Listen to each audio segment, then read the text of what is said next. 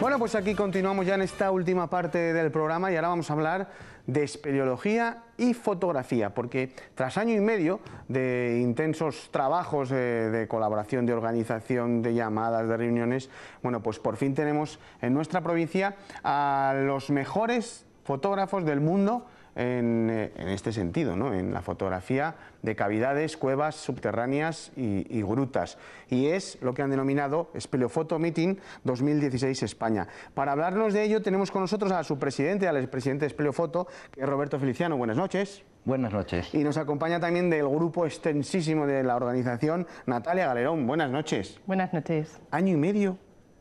Pues sí, año y medio. La verdad es que ha sido todo una, una aventura eh, organizar un evento internacional de fotografía. Nosotros ya teníamos experiencia en la participación de encuentros en Italia, en Francia, en Portugal, y entonces nos dijimos dentro de la asociación de Espeleofoto, ¿por qué no vamos a organizar nosotros un encuentro en Burgos, que es donde solemos hacer más fotografías, con las cuevas tan bonitas que tenemos?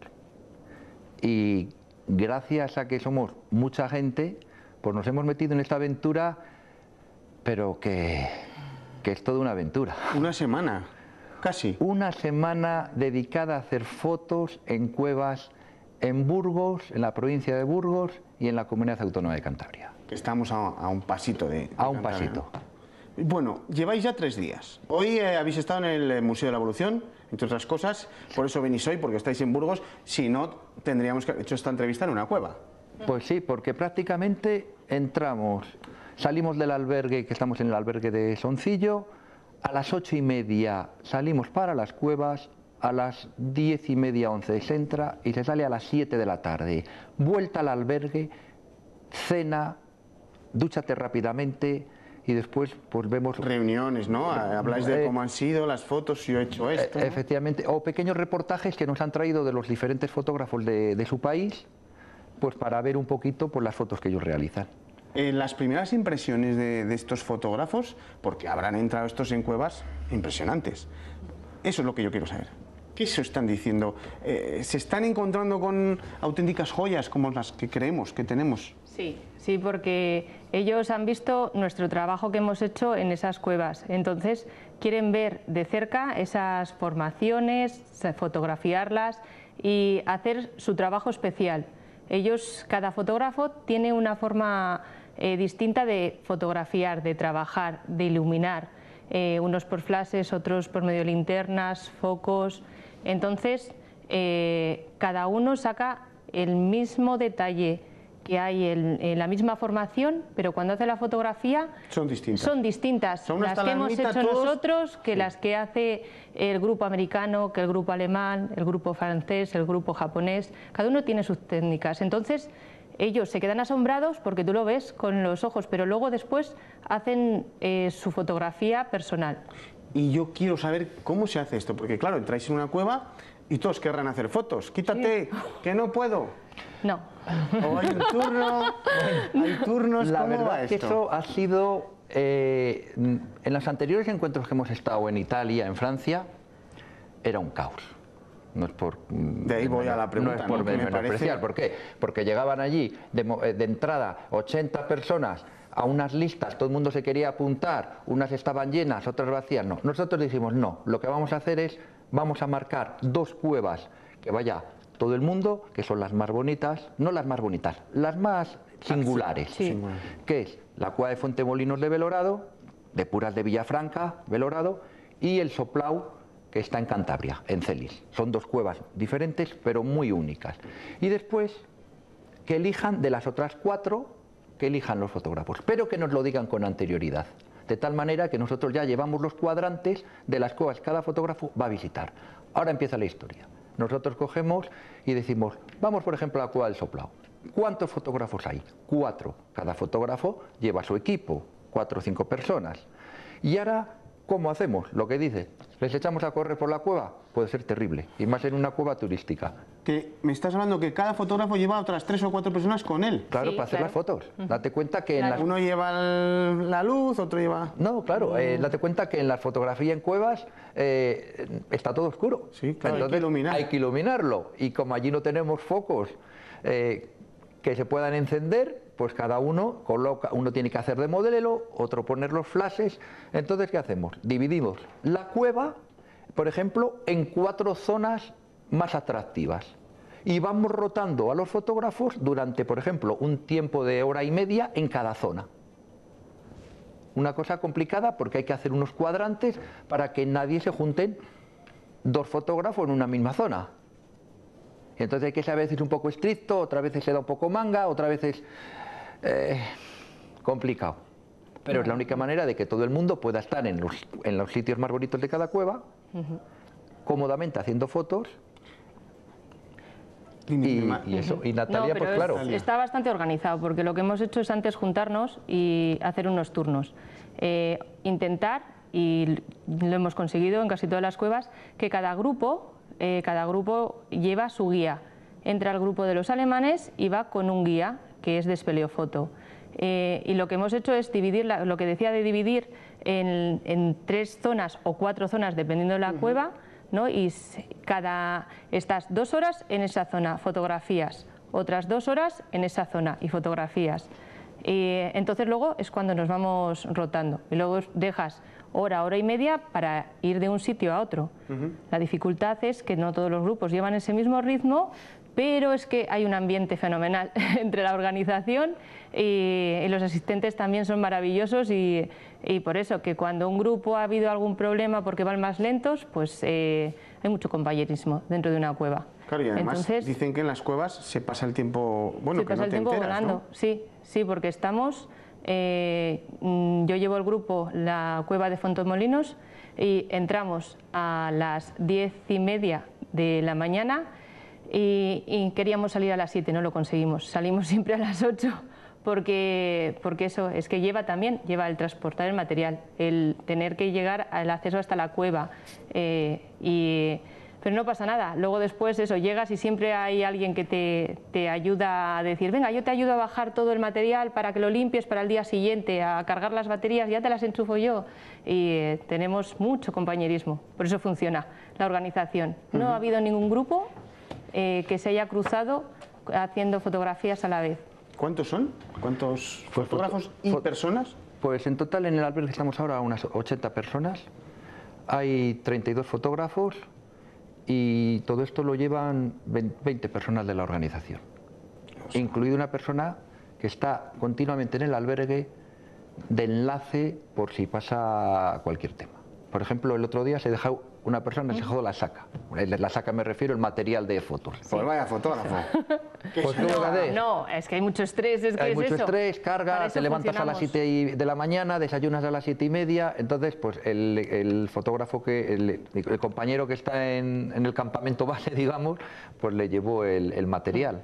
Contábamos decir, con ello, contábamos con Claro, algún dejar imprevisto. algo, ¿no? Claro. Después tenemos el problema de llevar una caravana de cuatro o cinco coches y que unos vayamos a, a- a Cantabria, otros vayamos a Belorado y no y todos pero- lleguemos. Sí, pero ¿Se pueden perder o...? Se pueden perder. en Entonces lo otros que hacemos, pasaba claro. eso, se perdía la gente, entonces decidimos siempre un coche seguía adelante y luego el último coche, igual llevamos caravanas de entre 4 a 7 coches. El último coche siempre va con un guía, nos transmitimos por walkies o con el, eh, con- si no tenemos walkie del equipo, con teléfono móvil. Oye, que par- voy a parar a echar gasolina, voy a parar que tengo un problema, paramos la caravana de siete coches, entonces nadie se nos pierde. Trayecto, por ejemplo, Soncillo a Puros de Villafranca, no, no se pierde nadie Es porque... hora y media larga, ¿no? Dos horas. Claro, y tenemos que pensar, claro, nosotros decimos perdernos, va, pues hay no, es que es gente de Japón, gente de Estados Unidos. sí. Es decir, que a una persona de Japón los letreros que tenemos aquí en España le suenan a Japón. A chino. A chino, a a chino. chino, le suenan a chino. Sí. Entonces eso es el mayor. Y si imagínate que se nos pierde alguien, ahí sí que ya todo el cuadrante le tiramos al suelo. Pero Entonces, eso no pasa, porque va a pasar, tenemos no va a muy buena pasar, pero ahí está, es decir, es digamos una organización marcial, como se dice, ¿no? Porque tiene que ser así. ¿Qué más cuevas vamos a, a poder disfrutar después en la web de esas fotografías? Sí. Pues de, ¿no? Sí, Comentarás tú, tenemos, hemos hablado de la cueva del soplao. eh, ¿Me podrías decir alguna característica de cada bueno, cueva, mira, no? la cueva del soplao Esa la hemos oído todos. las excéntricas, es decir, flores de aragonito por todos los sitios, coladas blancas, el contraste entre el rojo de las paredes, los ocres y los blancos como sábanas cayendo entre, entre el rojo eh, y las flores de aragonito. Es increíble, la gente sop- eh, la cueva de Fuentemolinos, ¿cómo es la cueva de Fuentemolinos? Pues la cueva de Fontemolinos tiene tres niveles. El nivel primero, el más bajo, es el curso del río. Es la, eh, única cueva de España que tiene conglomerado eh, con formaciones. Esta eh, es la que se entra por una gatera, ¿no? Sí, se entra un Es poquito en la gatera. hasta el nivel Dos. dos y medio. Dos y medio, muy bien, porque para ¿Grabando? subir- sí, para subir al tercer, el, el segundo Ay, sí, nivel. pero ahí nivel no te da tiempo en ocho horas, ¿eh?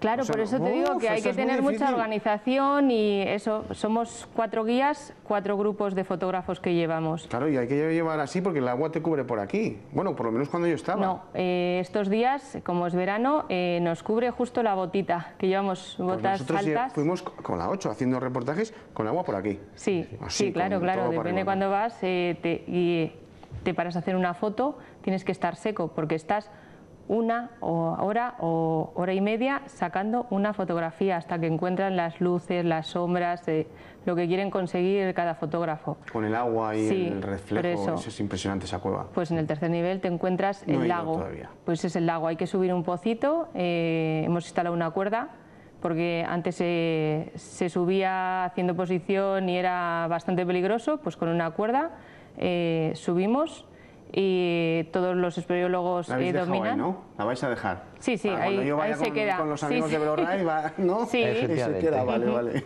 Por eso, y, y tenemos el lago con unas láminas de calcita preciosas. Hay fotos, ese es el lago. Este es el lago. Ese es el lago. Jo, qué bonito. Es precioso. Tiene, es- tiene, tiene unas formaciones, pues claro, que les llevas ahí al fotógrafo y se te quiere quedar tres horas. y Es le que además dices, no- muy poca le dices, gente ha ido a esa cueva, ¿eh? Sí, sí, le tienes que decir que nos tenemos que ir, que, que- que se termina el tiempo. Es de las mayores de Europa, ¿no?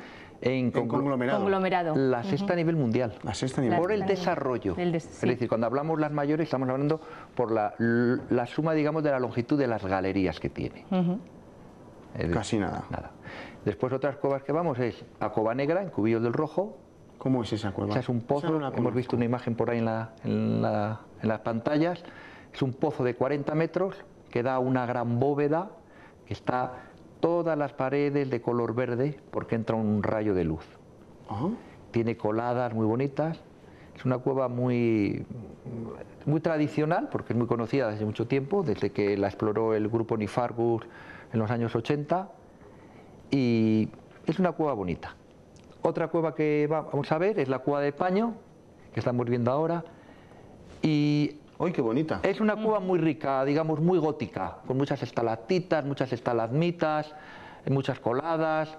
Está mm, en Puente Dey, eh, en, un, est- en un cerca casi del complejo cárstico de Jovareña, digamos, de la zona del Parque Natural, pero fuera.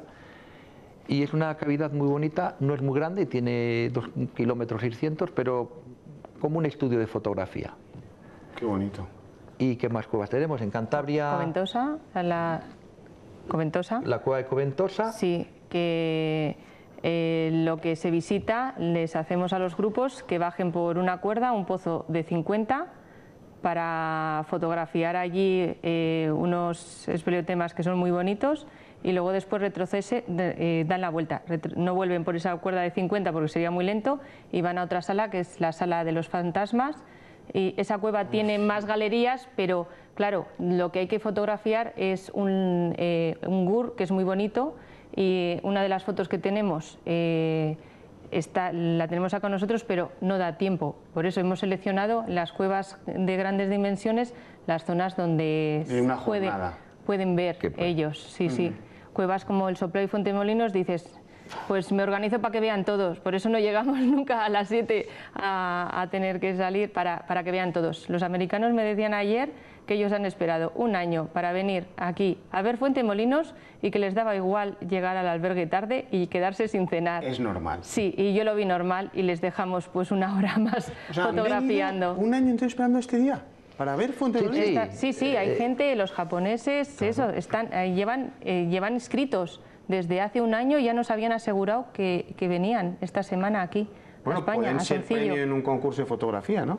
Muchas Bueno. de estas fotos también. Sí, pero el- la, la función del- de este encuentro no es, no es competitivo. Es decir, es un, No digo cada, cada fotógrafo Sí, después luego cada- puede presentarlas Sí, a un claro, concurso y ganar un premio. pueden ganar suyas. premios. Bueno, pero sabes que normalmente los premios de fotografía pues suelen ser más bien simbólicos y un poquito pues eh, para eh, el orgullo personal. Es decir, en esto del mundo de la fotografía espeleológica, en general en la fotografía es más bien una afición que, que una profesión, porque esto es una pura afición. Y una cueva que nos hemos dejado, que Cueva es la Mur. Cueva Mur, que está en Ramales de la Victoria. La tengo muchas, aquí, muchas veces la hemos Uy, visto, que es cuando bajamos a, a Laredo, ¿no? Es- Antes de llegar a Ramales hay una pared muy grande que llaman la pared del eco y ahí hay como un Ramales cua- de la Victoria. Sí, sí, Ramales hay de un la Victoria. agujero. Hay un agujero en la pared. Cuadrado. ¿Y es esto? Sí. Sí, y dentro es Ese una es el cueva muy bonita. Estuve yo hace dos años veraneando allí y no fui a la cueva. Claro, lo que pasa Claro. es que Digo, no lo encontré. A la cueva ¿cómo lo vas a irías a la, encontrar? a la boca. Que no, no, no, bueno, no. Claro. Por motivos así no fui a la cueva. Pero todo el mundo, vete a la cueva y, y mira, y no fui. Pero mira lo que me he perdido. Sí, sí. Efectivamente. Caray, ¿qué es lo que más cuesta a la hora de organizar unas jornadas para fotógrafos súper profesionales? En... Pues mira, mm, el- lo primero que tienes que conseguir es venderlo, entre comillas, me refiero, para que los fotógrafos vengan.